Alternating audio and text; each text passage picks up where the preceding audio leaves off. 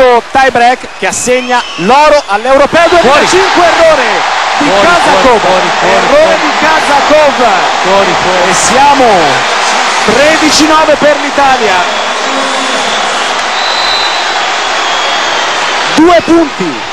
Servono due punti alla squadra di Montali. Sbaglia la ricezione la Russia mura di Vai, Mastro Mastro! palla del match. Una palla per la medaglia d'oro per l'Italia abbiamo demolito le sicurezze della Russia nel quarto set. 14-9 per questa nuova Italia 5, 5 palle match. Vediamo la prima. L'attacco della Russia con Poltavski annullata. 14-10 ancora 4 possibilità. Siamo tranquilli A Poltaschi non gli basta un rimane, attacco. gli rimane solo deve assolutamente rischiare. la battuta. Sì, sì. ne ha sbagliate 7 per ora vediamo. Abbiamo il nostro miglior 14-10 per l'Italia. Costretto a rischiare Poltavski e sbaglia! L'oro Vai. per l'Italia la storia la storia continua. Ci sono altri azzurri ma è un altro splendido capitolo scritto dall'Italia nella pallavolo. Un altro splendido capitolo rilegato sempre in oro. Una formichina diceva Montali ma una formichina davvero con un cuore grande così. Ancora un successo della, della nostra nazionale una splendida partita perché si era messa davvero male ed ecco Montali che sale sul tavolo dei segnapunti per salutare il pubblico di Roma.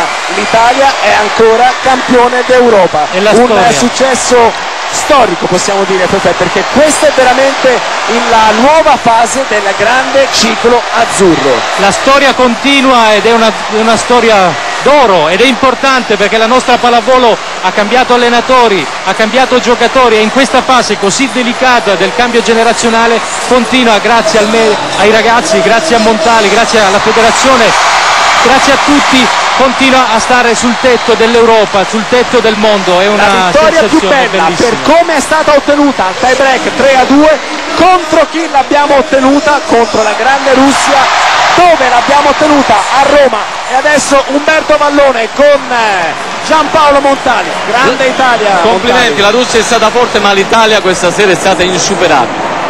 Sì, ho- avrò 180 di pulsazioni, ho il cuore in gola, cosa dire? Una cosa straordinaria, una vittoria vinta con gioco in alcuni momenti ma con tanto cuore ancora. Vincere due europei consecutivi, vincere con una squadra tutta rinnovata, con un gruppo completamente nuovo e quanto di più si può desiderare nella vita.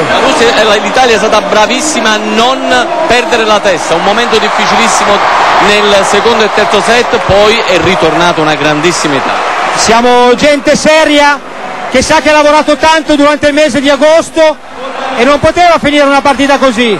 Doveva andare in campo e dimostrare tutto il lavoro che aveva fatto e la qualità delle persone che ha a disposizione.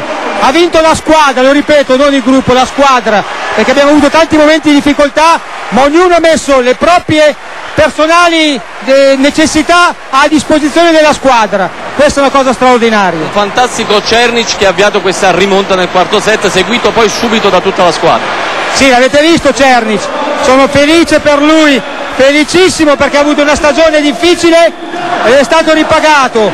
Il lavoro alla fine paga sempre.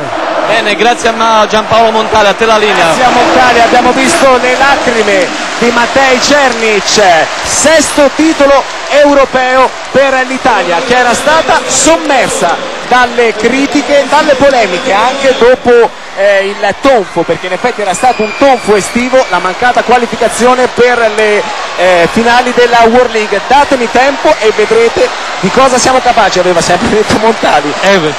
Ancora una volta ha avuto ragione lui, aspetta Pepe perché a Vallone al suo microfono Cernic, vai Mario Umberto. Allora Mattei, veramente una rimonta di un'Italia, forse qualcuno non ci sperava più, però Cernic ci credeva ancora.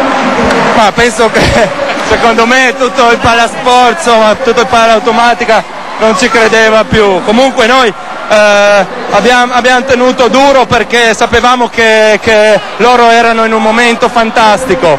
Dovevamo solo tenere duro e aspettare. L'abbiamo fatto e alla fine siamo riusciti a vincere sto, sto europeo, Dio, sto benedetto europeo. Una doppia soddisfazione per te, sei stato uno dei migliori, hai avuto un momento difficile, sei stato quello che praticamente ha condotto l'Italia verso la rimonta. Alla faccia di chi dice che non sono capace di giocare le partite importanti.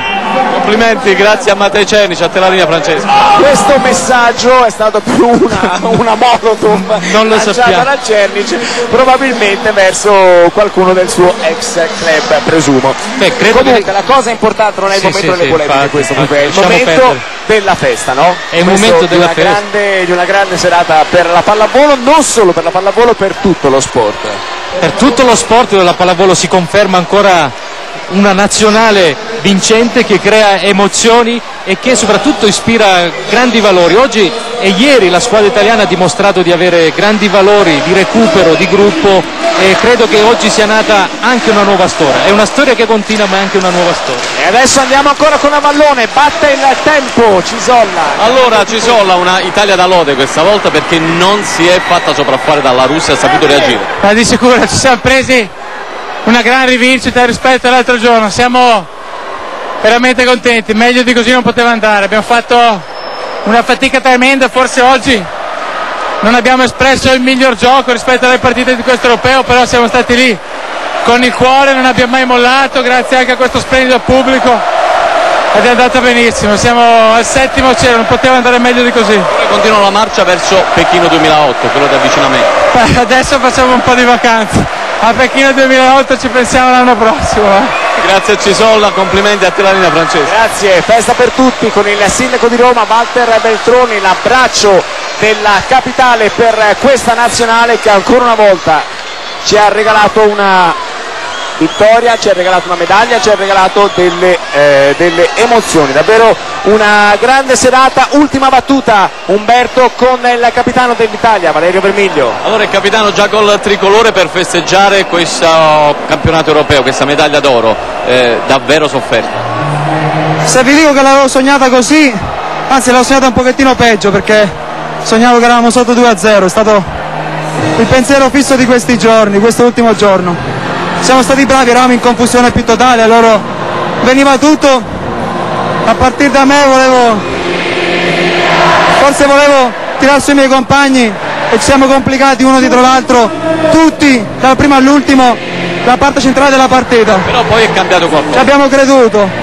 Abbiamo creduto che il culo, scusate la parola, non poteva resistere così, così tanto e ci abbiamo provato a darci l'anima.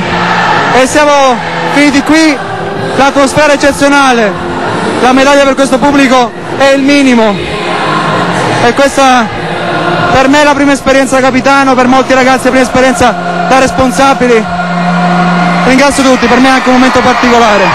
Grazie al capitano Vermiglio, di nuovo tanti auguri a te la linea Francesco.